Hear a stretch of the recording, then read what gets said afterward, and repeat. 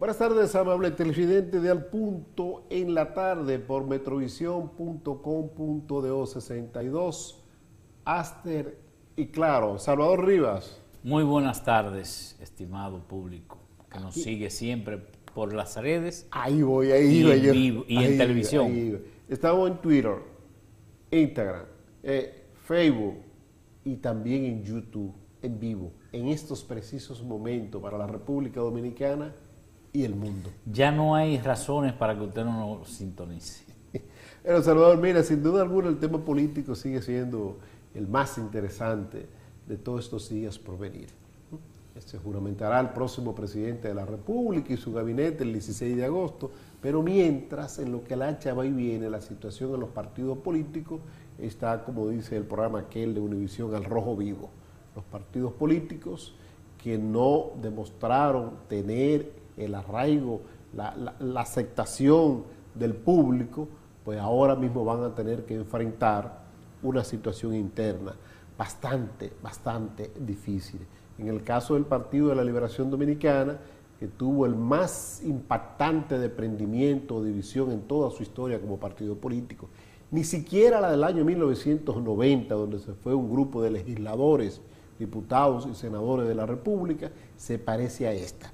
Nunca en el PLD había renunciado el presidente de esa entidad política. Y quien fue presidente, el primer presidente del Partido de la Liberación Dominicana, primer presidente de la República, el doctor Leonel Fernández. Esto provocó una grave crisis en medio de un proceso electoral.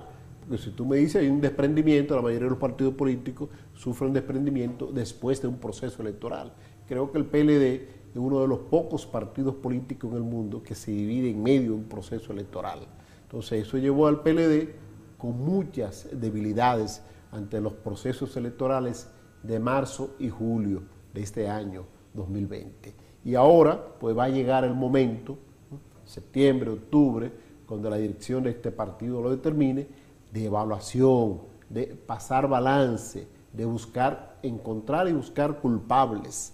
¿Quiénes son los culpables? El PLD seguirá siendo una gran fuerza política, va a tener una buena representación en el Congreso de la Nación, muy en especial en la Cámara de Diputados de la República, tiene una buena representación en las alcaldías de todo el país, donde no encabeza la alcaldía, tiene una buena cantidad de regidores que deben ser tomados en cuenta para determinar cómo puede avanzar esas alcaldías. En el Senado de la República no tendrá la mayoría absoluta, pero sí dispondrá de cinco o seis senadores, seis, creo que ya están confirmados seis senadores, que unido a lo que pueda obtener el partido que salió del PLD, el partido Fuerza del Pueblo, pues podrían hacer una buena alianza estratégica y ciertos proyectos en el Senado de la República no pasarían. ¿Por qué? Porque el partido ganador, el PRM, obtendrá mayoría solo por dos. Dos senadores eh, le darían la mayoría al PRM, tiene 18. Son 32 los senadores. Si de esos 18 faltan dos, tienen 16. Ya inmediatamente tienen justamente a la mitad. Si los 16 restantes acuden, hay un empate.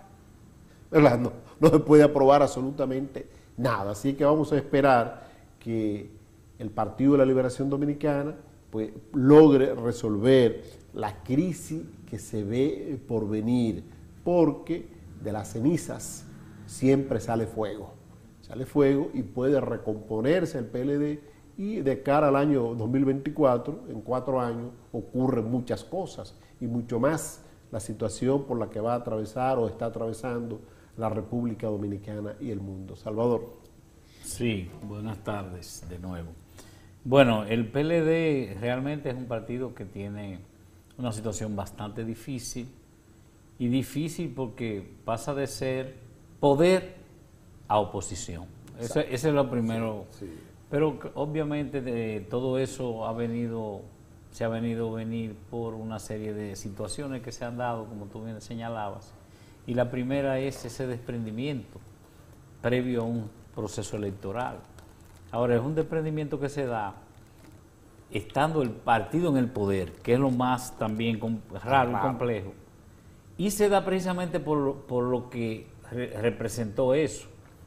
eh, un líder de la categoría de Leonel Fernández, tres veces presidente de la República, con un carisma impresionante, con una aceptación a lo interno del PLD muy alta, igual que a lo externo, aunque también con muchos rechazos, pero más aprobación que rechazo.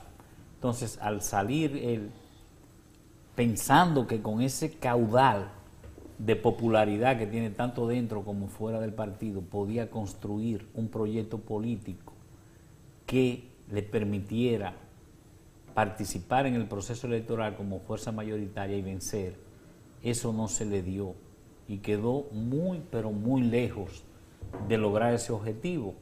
Y eso podemos verlo en los resultados tanto de las elecciones municipales que transcurrieron en marzo, como en estas elecciones generales, que si bien tuvo un éxito relativo a nivel del Senado de la República, producto de que se, se dio algo muy positivo, estratégico del PRM para poder crecer y salir de la situación que se, en, en, que se encontraba, porque recordemos que el PRM todo el tiempo marcaba entre un 22 y un 25% y no subía.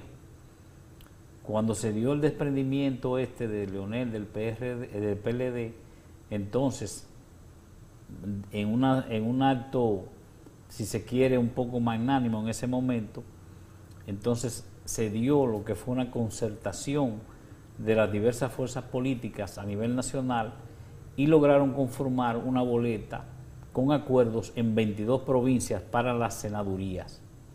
De no haberse dado ese acuerdo a nivel senatorial, la fuerza del pueblo también hubiese sufrido un revés bastante fuerte, porque si analizamos las votaciones, lo que era la alianza que se formuló en torno a la fuerza del pueblo, Lionel, Partido Reformista, Partido Quisqueyano Demócrata, eh, ¿cuál más era?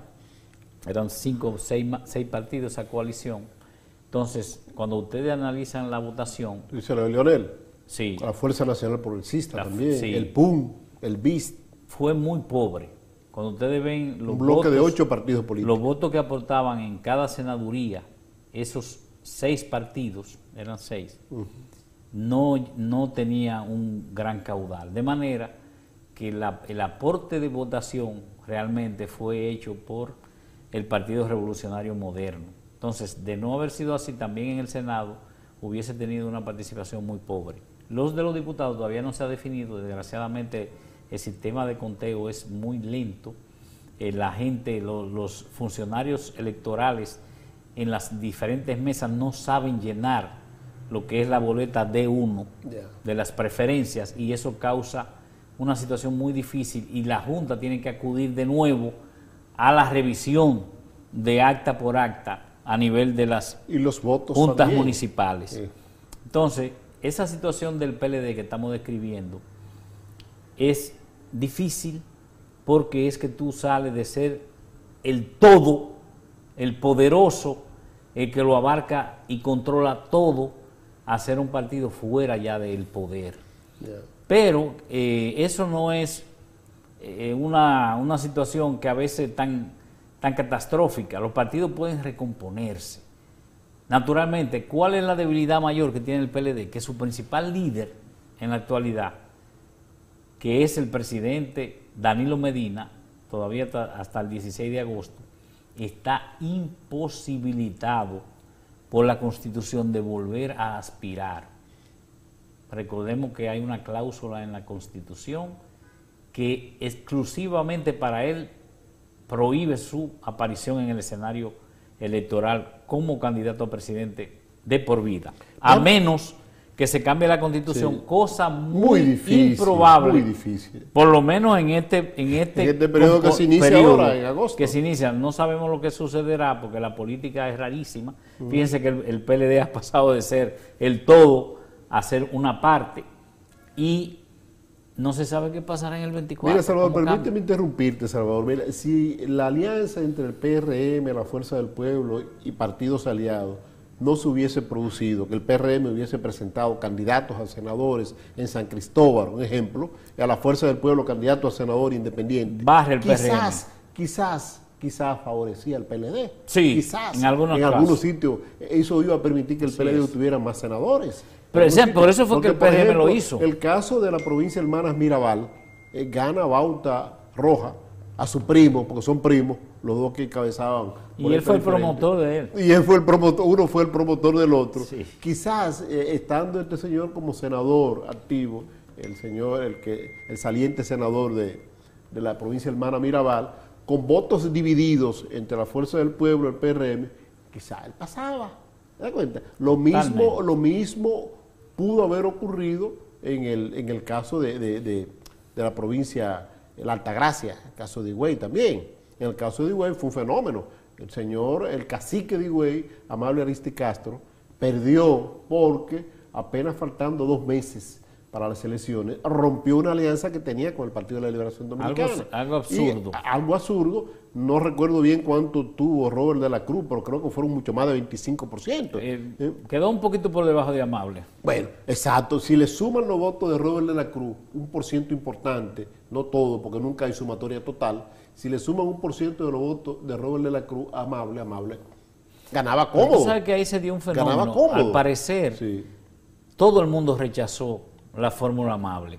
Tanto a la sindicatura o alcaldía. Recuerda que él se molestó porque él dice que el PLD no apoyó a su hija. Pero oye, yo estuve ahí en muchos lugares y vi al candidato presidencial del PLD levantar la mano de la hija de Amable Ariste Castro. Él se quejó. El presidente Danilo Medina estuvo por ahí y levantó la mano de la Él no entendió que la gente se cansó. Se cansó, pero una señora que no vive en Higüey, No, ella vive en La Romana, en Casa de Campo, vive en una villa de su papá y que iba quincenal a Higüey y había que A despachar, a firmar. No, había que llevarle despacho de urgente, como quedan ahí mismo, son dos provincias colindantes, había que llevarle a su casa documentos para fuera una mujer joven, una mujer joven. Si Amable la estaba preparando para hacer su relevo generacional como candidata a senadora, debió haber declinado él y esa alcaldía habérsela facilitado. La gente se al hartó, PLD. se hartó. Oye, ella como candidata a senadora y con Amable detrás pudo haber ganado y seguía esa alianza con el PLD. Pero, señores, la gente no sabe ceder en política. Lo que le pasó a mi dileta y gran amiga, doña Cristina Lizardo. 16 años, 16 años, mira Amable y su hija ahí. 16 años Cristina Lizardo como senadora de la provincia de Santo Domingo. ¿eh? Con una baja productividad con una productividad y una provincia difícil. Una provincia mayor del difícil. país. La provincia más grande, ¿no? Y, y- y la, for- y- y- y la, y la distribución geográfica de la provincia de Santo Domingo es la más compleja del país. Le llaman la Y herradura. una señora que padeció ¿Sabe- incluso ¿Tú sabes por qué le llaman la herradura? Porque bordea todo el Distrito Nacional. Usted puede estar en Boca Chica y de Boca Chica a las 7 de la noche le dicen... Sí, porque "Senadora, arropa, arropa el distrito. arropa. Oye, de Boca Chica le decían a, a doña Cristina, senadora, tenemos que irle porque usted tiene una actividad en los Alcarrizos. Tiene que cruzar por la capital para ir por los Alcarrizos. Cuando estaba en los Alcarrizos, terminó a las 7 de la noche, 8 de la noche una actividad, le decían, ahora tenemos una actividad en Villamella, Santo Domingo Norte. Es difícil, difícil. Entonces, doña Cristina Lizardo, con 30 años en el Congreso de la Nación, porque fue diputada 8 años, eh, con 12 años como, como regidora. Señores, pues el tiempo de elección concluyó. Ella fue regidora del Distrito Nacional. Aprender a ceder es lo más importante. Entonces, eso perjudicó a la boleta del PLD. Quizás este señor Antonio Tavera, con un candidato joven, diferente, por ejemplo, como con un Luis Alberto, o quizás no dejar que, se fuera Manuel Jiménez, aquella vez que se fue un Manuel Jiménez, la situación hubiese sido otra.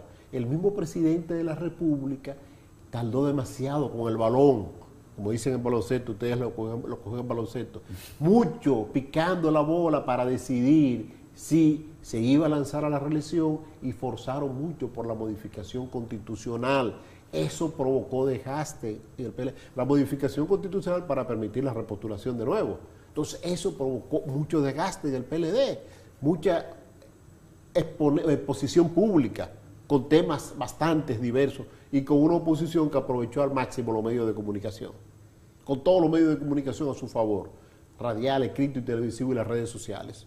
¿Tú Y mucho ¿Mm? empresariado a su favor. Eh, Y mucho. Entonces, todas esas cosas, el PLD, el PLD no, no, no la pensó, no la sopesó. Y para hacerte la palabra, escúchame que me he extendido, y con una cúpula dirigencial que en su gran mayoría ya están desfasados. Un comité, me gustó bastante, a propósito de la intervención hoy de José Tomás Pérez, en un popular programa radial del país y en su cuenta de Twitter. ¿Qué dice José Tomás Pérez? Le voy a pedir al comité central de mi partido que no me tome en cuenta para elegirme miembro del comité político. No quiero seguir ahí. Seguiré siendo PLDista y miembro del comité central y si me lo solicitan asesor voluntario del comité político, pero entiendo que el comité político debe ser remozado en un 90% por lo menos. Que se quede un 10% de la vieja matrícula, de los más jóvenes. ¿eh? Está bien eso. Que se quede Abel Martínez, eh, que se quede Julio César Valentín, suponiendo. Mm, estoy hablando de dos jóvenes que se quede Francisco Javier García, un hombre de una gran experiencia, el armador de las grandes campañas del PLD, el jefe de campaña de, las grandes campañas del PLD, que se quede Rubén Bichara, pero no más. Ah, bueno, y el presidente Danilo Medina, por su vasta experiencia. Pero después toda esa persona, esos primos, amigos y relacionados, fuera de ahí, vamos a nutrir el comité político del PLD, porque el comité político es lo que en sí traza la pauta del éxito del PLD. Eso es lo que hay que hacer. Bueno, entrando ya en el análisis propiamente del PLD, eh, la situación difícil, pero es como decíamos, no es insalvable, porque es que los partidos, los procesos electorales son cada cuatro años. Las renovaciones pueden dar frutos muy positivos el desgaste de los gobiernos se, manifiesta de manera muy acelerada y los desgastes del gobierno conllevan a la, el deseo de cambio de la población. Nosotros estamos entrando en una situación, este gobierno eh, entra en una situación sumamente difícil, complicada, porque es algo nunca visto en la historia de la humanidad, lo que está pasando en los tiempos modernos, porque han habido pestes, pero no con la dimensión y la eh, que abarque tanto al mundo por el, por el entrelazamiento que existe en, la actualidad. Recordemos nosotros que somos un mundo ya interdependiente en todos los sentidos, incluso en las redes. Ahora nosotros no está viendo el mundo entero. Eso no existía. Entonces el mundo es muy entrelazado. Entonces esta crisis tiene una expansión demasiado grande y afecta a todos los países. Y nosotros somos un país demasiado dependiente. Entonces, entrar a dirigir los destinos de la nación en un momento como este conllevará a que el gobierno entrante no pueda cumplir con muchas de las promesas que han planteado. Por ejemplo, aquí va a haber exigencia de, lo que ha planteado Luis Abinader. Claro, de las promesas. mencionado, las promesas son muy difíciles de cumplir. Eh, las campañas son así, la campaña se ofrece todo para ganar. Ahora, cuando se llega es difícil de cumplir, la gente va a exigir. Incluso en el campo de la corrupción, la gente está demandando, ya, ya desde ya están demandando cabezas, que rueden cabezas, que la cárcel se llene. Eso es lo que quiere la gente. Si eso no se puede cumplir, porque hay leyes, señores, la gente quiere que se hagan cosas que no se pueden hacer. Esto no es Roma. Esto no es Roma. Circo y sangre. circo. Esto no es Roma. Aquí hay leyes. Si se va a acusar a alguien de malversación, eso va a conllevar un proceso. Miren el caso de Brecht, con todo lo que se critica, ¿cuánto ha durado eso? ¿Cuánto lleva ese proceso? Si no hay nada. Ah, bueno, que el procurador, no, porque es la justicia que estaba actuando. Entonces no es tan sencillo. La gente va a demandar cosas que no se van a poder cumplir. Además, existe lo que se llama gobernabilidad. Entiendan bien esa palabra. Si bien es cierto que el PRM tiene la posibilidad de aglutinar las fuerzas en el Congreso para apoyar todas las medidas que ellos estimen necesarias, lo van a lograr. Sobre todo en los primeros 100 días, el Congreso le va a aprobar todo, porque es una tregua necesaria y sobre todo, como decía, en la situación actual.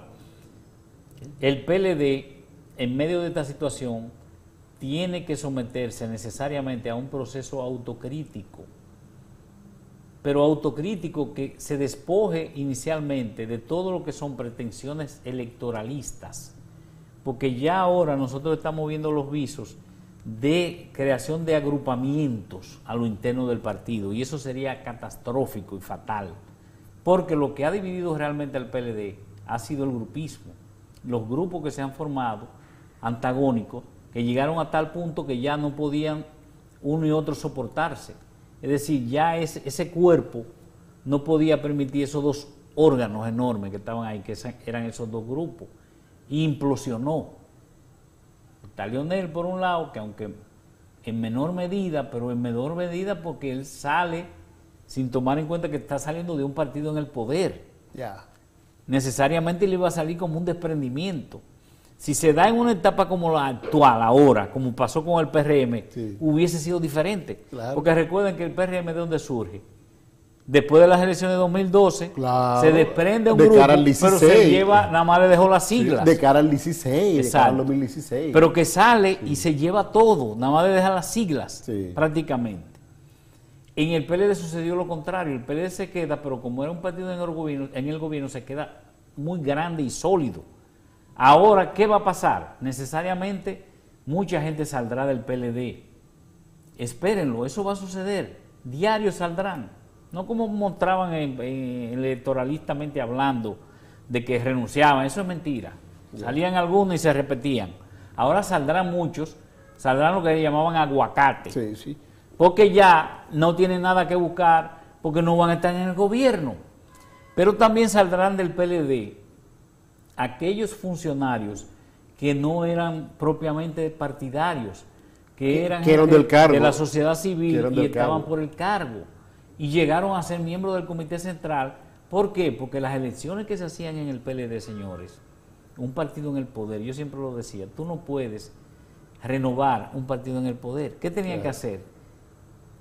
Cuando se dio el plebiscito, que era para que se eliminara, para que se hicieran elecciones nuevas de todos los cargos en el partido, que no se hacen desde, 2000, desde 2006. sí, la última que se hicieron. No, 2006 lo que se sumó fue más. Se sumó más porque ya estaba en el poder el partido. Desde el 2001 que no se hace. O 2001, exactamente. 2001. Por ejemplo, desde 2001 en el PLD no han hecho elecciones para los comités intermedios. Están las mismas personas. Ni secretario general, nada de eso. Eh, tampoco se ha hecho elecciones para el comité central. Lo que se ha hecho es que se ha ido ampliando. Por sumándole más, sumándole reciente, Las últimas que se hicieron recientes, en el 2014 fue para, le sumaron 100 al Comité Central. En el 2006, como usted dice, le sumaron 100 también. También. Entonces, eso, señores, ha hecho que el PLD, en mucha, mucha generación de jóvenes, estén castrados. Porque ¿quiénes iban? De esos 100, ¿quiénes subían? Los funcionarios. Claro. Porque eran los que manejaban puestos de trabajo, recursos.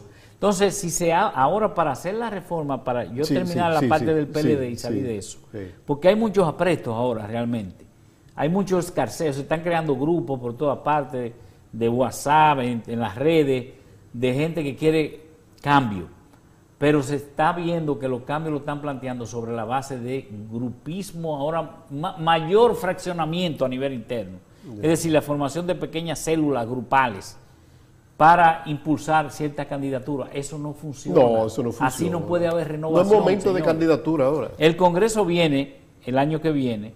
No, este año, octubre. Bueno, sí, en, octubre. Yo creo que es de tiempo, octubre.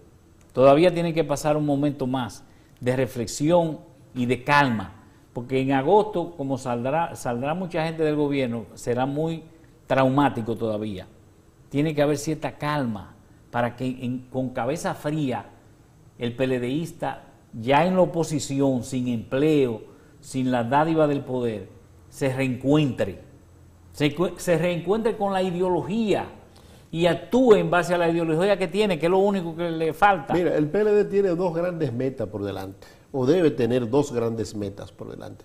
Primero tiene que seleccionar un presidente un presidente que sea activo, Pero eso, es en el Congreso, tiene que hacerse. Y segundo, tiene que elegir un nuevo secretario general. También en el Congreso. Ya mi amigo, mi gran amigo Reinaldo Párez Pérez cumplió, cumplió, agotó su vida útil como secretario general. Y está enfermo también. Está enfermo, hay que darle un, chance, hay que darle un chance. Eso será parte del Congreso. Mi gran amigo Carlito, Carlos Párez Pérez debe dejarle esa posición en el comité político a Carlitín, su hijo, juventud, un ejemplo eso es lo que queremos, un partido dinámico, un partido que pueda recomponerse, como tú muy bien has esbozado en tu, en tu ponencia, y pueda ser una gran opción de poder. Los partidos que han sido poder, oye, los partidos que han sido poder, ¿eh? se quedan con una estructura que le garantiza en poco tiempo recomponerse y volver.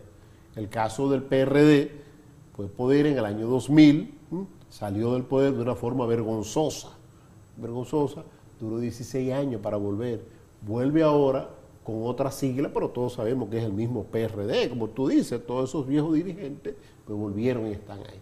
Vamos a la pausa entonces y regresamos en breve con más.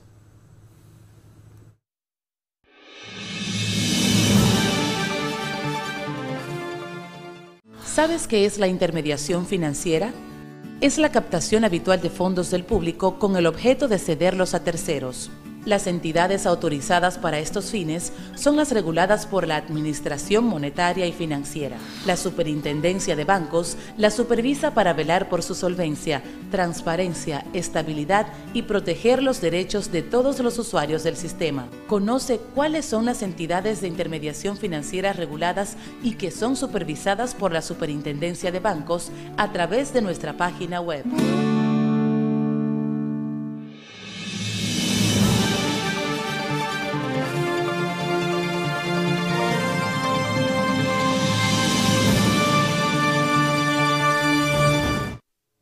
Sí, estimados amigos televidentes, estamos de nuevo, retornamos a seguir analizando la situación política nacional.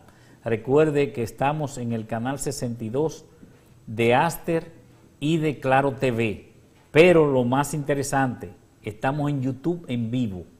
Y además usted puede verlo en cualquier momento del programa por esta plataforma importantísima de difusión internacional que se llama YouTube, lo más moderno que existe en el mundo pero también estamos en streaming por Twitter y por Facebook y, e Instagram también. Es decir, abarcamos ya todo el espectro de las redes sociales y eso nos posiciona a nosotros en un buen sitial para que todo el mundo tenga la facilidad de vernos todos los días, de lunes a viernes, en este horario bastante bueno que es de las 6 de la tarde a las 7 de la noche. Eh, estamos en la transición horaria prácticamente, de la, de la tarde a la noche. Tarde-noche, como decimos, Rivas. ¿Con qué seguimos? Ah, no, además, además de que en YouTube tenemos la gran ventaja, bueno, y en Twitter también, de que usted no pudo vernos a las 6 o estaba viéndonos a las 6, pero tuvo que salir a algo, eh, puede volver a, a chequearlo a las 10 de la noche, a las 11, a la hora que usted quiera, porque va a estar ahí disponible. Puede adelantar, echar para atrás, es muy Exactamente. Mira, Salvador, pues ya concluimos, vamos a dejar al PLD tranquilo. Vamos a ver ahora qué puede ocurrir alrededor del expresidente de la República, Leonel Fernández, que el presidente electo, Luis Abinader, debe estarle eternamente agradecido.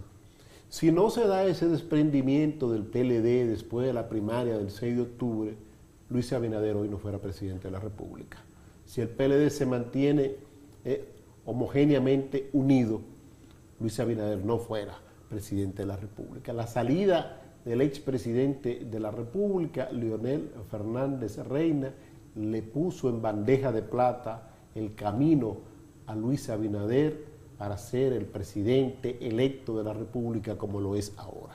Entonces, Leonel Fernández tiene una gran disyuntiva. Tú decías ahorita que mucha gente del PLD podrá salir ir a la fuerza del pueblo, pero van a ir donde su verdugo, el que lo está colocando a ley de un AO para que quede sin empleo, ¿eh? el que lo colocó en, la, en el plato de mesa del enemigo para que le ganaran la regiduría, la alcaldía, la diputación y la senaduría. Déjame decirte que recuerdo un estribillo de la canción del astro mexicano, el príncipe de la canción, José José, pero lo dudo. Es muy difícil que sea así. Es muy por el contrario, mi modo de ver, que muchas personas que se retiraron, renunciaron del PLD junto a Leonel Fernández, ¿eh? se fueron a la fuerza del pueblo, ¿eh? al no ver que este proyecto político pueda tener eh, posibilidades de crecer, de convertirse en una opción del poder, pues vuelvan a su viejo redil, a su viejo partido de la liberación dominicana pero tienen que hacerlo con tiempo, porque cuando se dé la reestructuración pueden entrar como una cuota, como una cuota. Bueno, yo me fui, estaba equivocado, pero aquí estoy. Aquí estoy cerrando, cerrando fila en el glorioso Partido de la Liberación Dominicana. Eso por un lado. Por otro lado, también la fuerza del pueblo está al acecho de candidatos que se convirtieron en electos en la pasada contienda electoral, tanto a diputados como senadores. La Fuerza del Pueblo está acechando a ver si Dionis Sánchez eh, hace fila con ellos, pero también está acechando para ver si Félix Bautista, que todos sabemos es un gran amigo del expresidente Leonel Fernández y fue uno de los senadores fieles al proyecto de Leonel Fernández hasta, hasta el momento que Leonel dijo me voy. Entonces Félix le dijo, no, yo me quedo. Tú te vas, pero yo me quedo. Dionis Sánchez lo dijo lo mismo, tú te vas, pero yo me quedo. Somos amigos, pero yo me quedo, yo no me voy. ¿verdad? Lo mismo hizo la senadora de, la Romana, aunque con algunas cosas, Marilis, con, algunos devanes, su esposo cometió varios errores y por eso una gran parte de los peledeístas muy posiblemente no la respaldaron en la Romana y por eso recibió una derrota tan humillante. En la Romana una mujer que tiene una tasa de aceptación muy buena. Marilis es una odontóloga prestigiosa de la ciudad de la Romana que le ha prestado servicios sociales a media romana. A media romana y por eso pues las tres veces que fue senadora lo fue con una buena votación, tanto en el 2006 como en el 2010 y así en el 2016. Ahora era su cuarta ocasión, que eso es lo que pasa, que la cuarta vez es un poco difícil, difícil en medio de un fuerte cuestionamiento como tenía el Partido de la Liberación Dominicana. Eso es con relación a la fuerza del pueblo. Pienso que le va el, el expresidente Leonel Fernández tiene una dura batalla por delante, la fuerza del pueblo no tendrá la ventaja que tuvo el PRM para crecer, porque, por lo que tú dijiste. El PRM se desprendió del PRD, pero se fue con un 90% de los cuadros dirigenciales. Miguel Vargas se quedó con la sigla PRD porque era el presidente. Era el presidente y además, vamos a decirlo, eh, tenía buenos amigos en el Tribunal Superior Electoral que le ayudaron bastante. Y en el gobierno. Y en el gobierno. Se le ayudó bastante, ¿verdad? Eso le ayudó bastante. Salvador. Bueno, eh, sí. Realmente, ¿Dónde merece opinión la fuerza del pueblo? La fuerza del pueblo necesariamente va a crecer.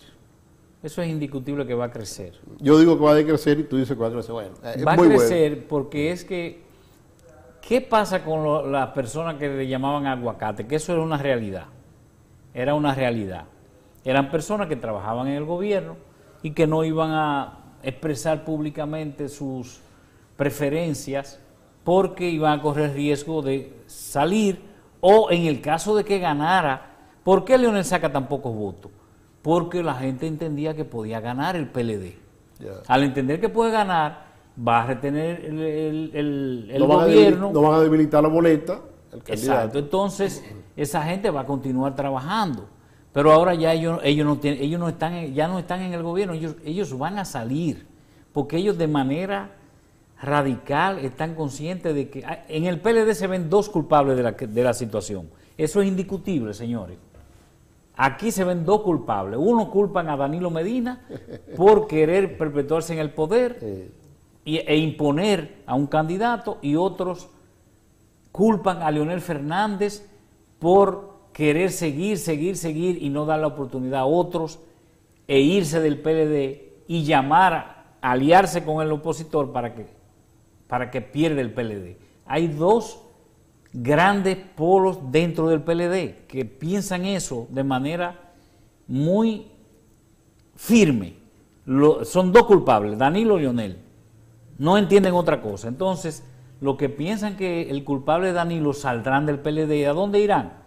Irán a la fuerza del pueblo, muchos. Otros se retirarán, otros buscarán cómo insertarse en el gobierno, porque eso existe, hay cuadros, hay gente importante que tiene capacidad, que puede también trabajar eso optarán por buscarse o irse a descansar al sector privado y no meterse en política. Pero necesariamente la fuerza del pueblo va a crecer, sobre todo que tiene una buena matrícula en el Senado.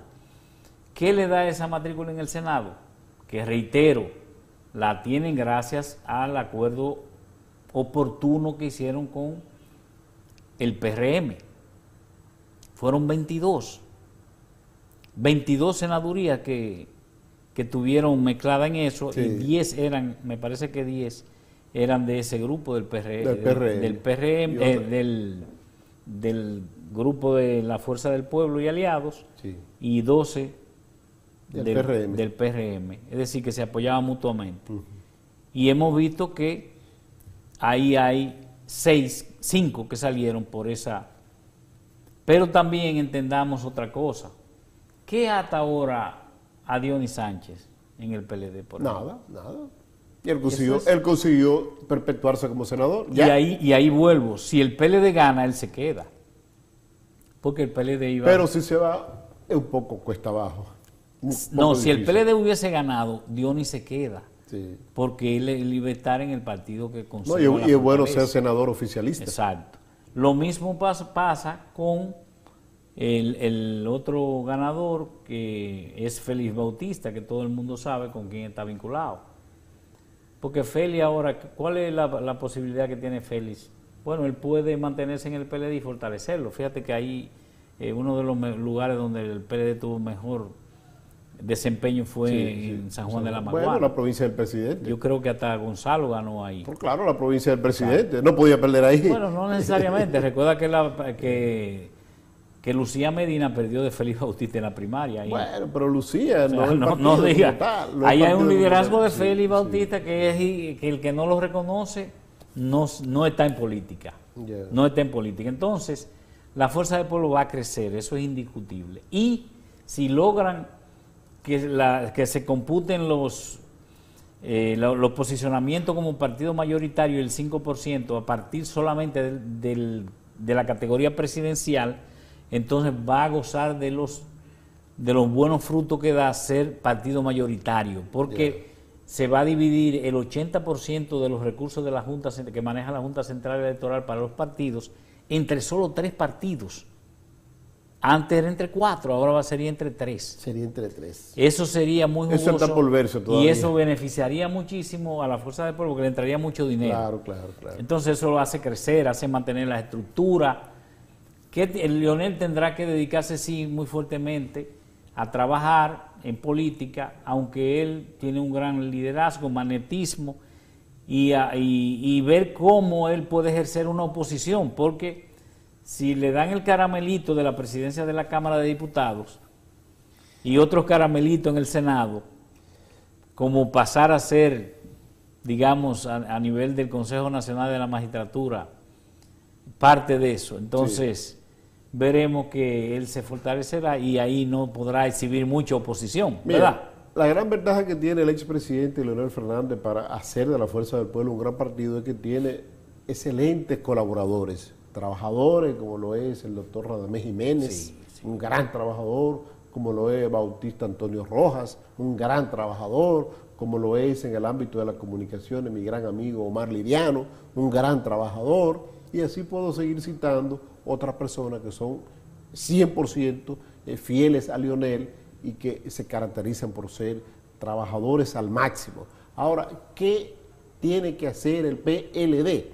Empoderar a aquellos que son grandes trabajadores políticos, los que son 24-7, eh, dedicados al proselitismo, al fortalecimiento de su partido. El caso de Rubén Jiménez Vichara. Pienso que el secretario general ideal para el PLD es Rubén Jiménez Vichara, porque es un hombre que no le tiene Pero fue miedo. Bueno, como jefe de campaña, es su primera experiencia como jefe de campaña, pero el armador número uno que conoce al PLD desde Higüey hasta Elías Piña y de Elías Piña a Dajabón y de Dajabón hasta Pedernales, Rubén Bichara. Lo y surgió, surgió una figura eh, con mucho mucho temple ahora en el proceso, que es, el encargado de titulación. Ah, Dantes. Dantes, ha hecho muy popular. Ese muchacho es un candidato mío para también, porque yo formar parte del comité político, juventud, experiencia experiencia, que eso también se requiere. Se manejó con mucha decisión. Eso hay que ver ahora. El presidente del Partido de la Liberación Dominicana, que tiene que ser un gran trabajador también. ¿Y quién mejor que el, dentro de pocos días el expresidente Danilo Medina? Dentro de pocos días será expresidente, porque Danilo Medina no le tiene miedo al trabajo. Pero fíjate, Temos está, Temos eh, está erigiéndose como un renovador ahora también. Bueno, pero... Está llamando a la renovación sí, del sí, PLD. Sí, la renovación, pero Temo como que le falta esa chispa que requiere un partido en la oposición, como lo será el PLD en pocos días, para crecer. Sin embargo, yo estimo que Temo hizo un gran trabajo en la presidencia del PLD. Bueno, Porque fíjate, eh, cuando salió Leonel, se creó una situación bien difícil. Muy difícil, muy difícil. y el partido se pudo recomponer y eso se veía el partido comenzó a fluir de nuevo. Bueno, un partido en el gobierno que está aleteando por seguir en el gobierno. No, y pues. surgió, realmente el, el, PLD era un partido apagado a nivel, a nivel de lo que se llama interno organizativo. Partido donde no funcionaba ningún órgano ni organismo. Sin embargo, el PLD se reactivó, se reactivaron las secretarías, con el mandato de Temo. Temo era asequible, Temo participaba constantemente.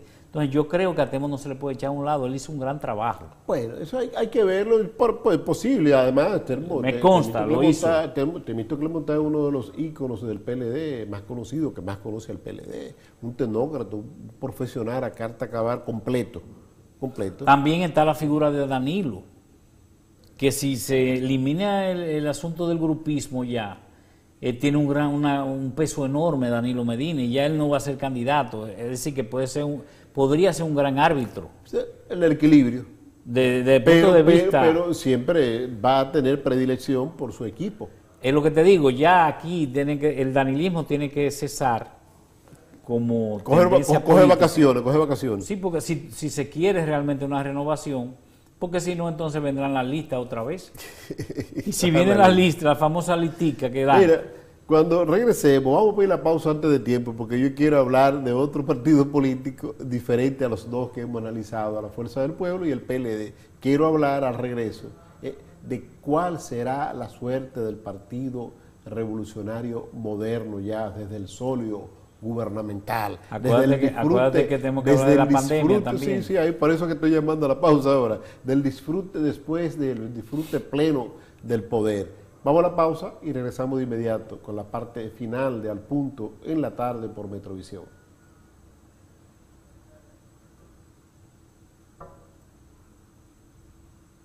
Se fue, se fue. seguimos entonces. Pausa, seguimos, seguimos en breve, seguimos en breve, flaco, llévatelo.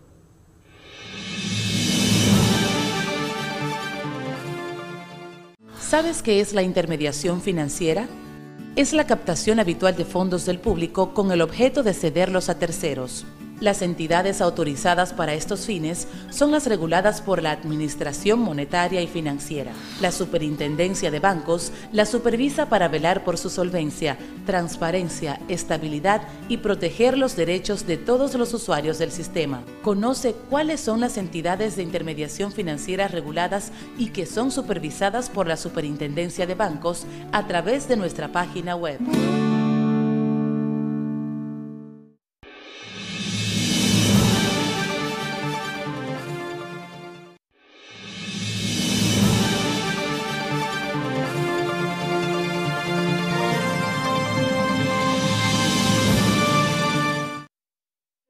Con la parte final de Al Punto de la Tarde por metrovisión.com.do 62 Aster y claro en las redes sociales Twitter, Facebook, Instagram y también YouTube en vivo. Salvador, te decía al cierre del segmento anterior que no debemos dejar a un lado el análisis correspondiente al cual sería la suerte del Partido Revolucionario Moderno, el partido más joven del sistema de partidos políticos de República Dominicana que logra ganar unas elecciones. Claro está, con remanente del pasado, remanente de su pasado, que es el Partido Revolucionario Dominicano PRD. El PRM asume la conducción de la administración pública en momentos sumamente difíciles para la República Dominicana y el mundo. El desarrollo de una pandemia, lo que conlleva esa pandemia, una grave crisis económica que todavía aquí en República Dominicana no se están sintiendo al 100% los impactos de esa crisis económica, la crisis de Estados Unidos, la crisis de España, y hago mención de esos dos países porque son los principales suplidores de divisa y, los compatriotas nuestros que residen en esos dos grandes países financian eh, el, el modo de vida de sus parientes que están aquí en la República Dominicana.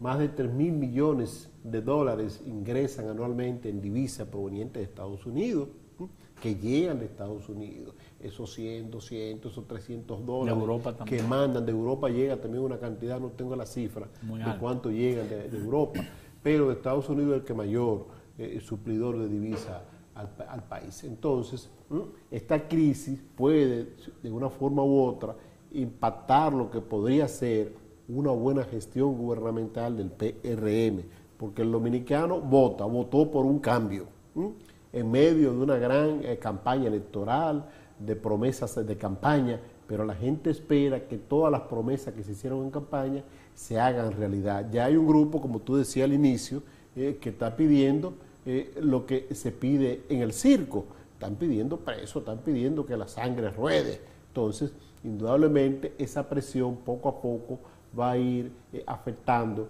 lo que podría ser la gestión del Partido Revolucionario Moderno. ¿Qué va a ocurrir? La mayoría de los partidos políticos inmediatamente llegan al disfrute del solio presidencial, quien encabeza el gobierno inmediatamente monta un proyecto reeleccionista.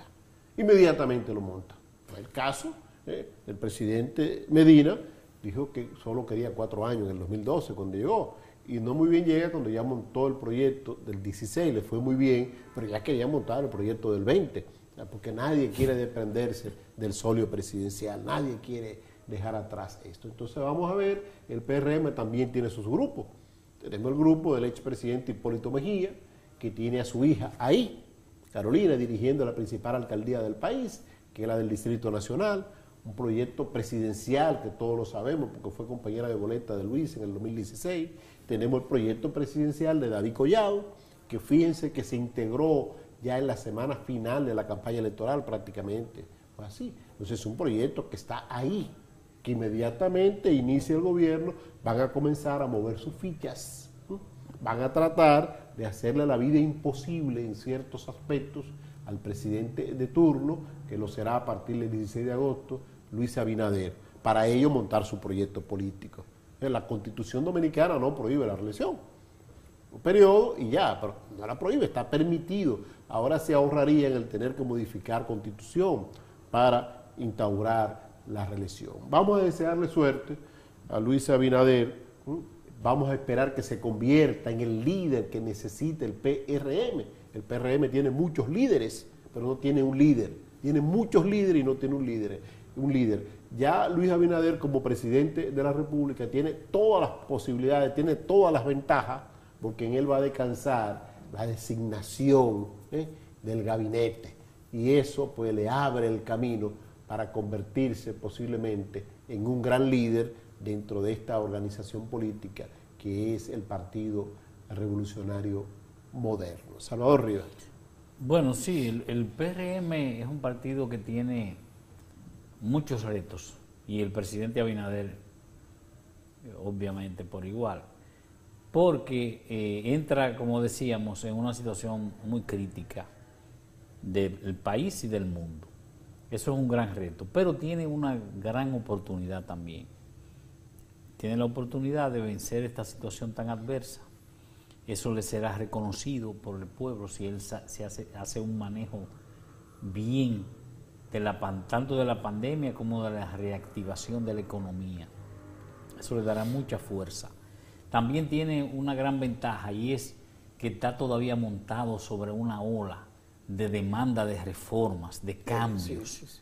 La sociedad quiere cambio y él tiene una gran oportunidad de hacerlo son cambios que podrían ser dolorosos, por ejemplo, para eh, cuando se habla de reestructuración del aparato estatal, yo entiendo que él tiene la oportunidad de hacerlo.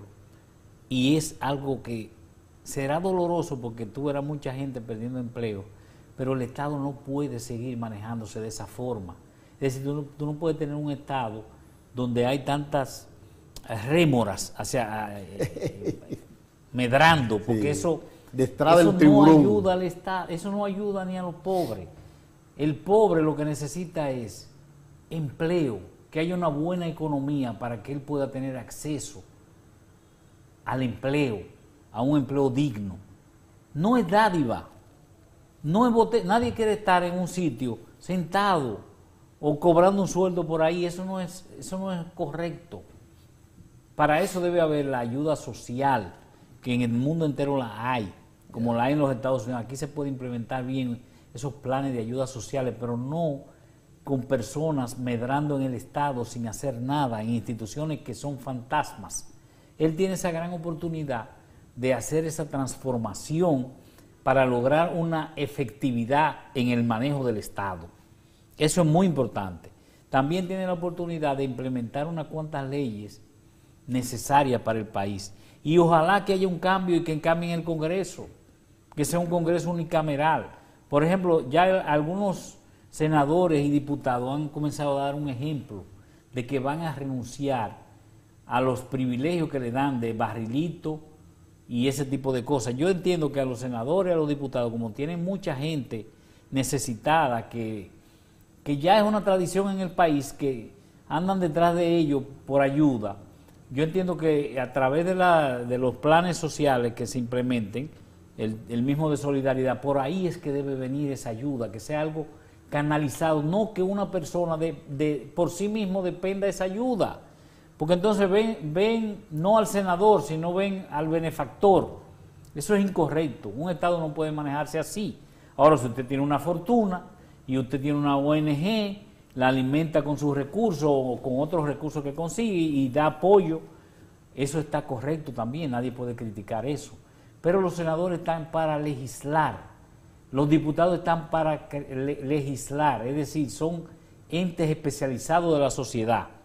Entonces, si se le quitan esos privilegios, como existen en Europa, hay que tener mucho valor para hacerlo, pero ahora Luis tiene esa ventaja. Él podría hacer esa transformación, porque tiene una sociedad que lo va a respaldar y nadie se lo puede, eh, se lo puede rebatir. Entonces tiene esa oportunidad de hacer esos cambios tan necesario, se casaría con la gloria.